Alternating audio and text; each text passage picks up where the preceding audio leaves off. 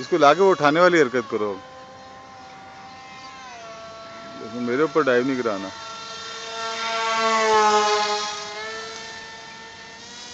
उठा नहीं ना? वो जान नहीं है इसमें। बस वापस ले आओ स्लो में लैंड ग्लाइड कराओ पावर ऑफ़ करके।